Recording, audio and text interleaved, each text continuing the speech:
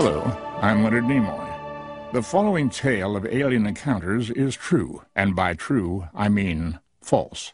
It's all lies, but they're entertaining lies, and in the end, isn't that the real truth?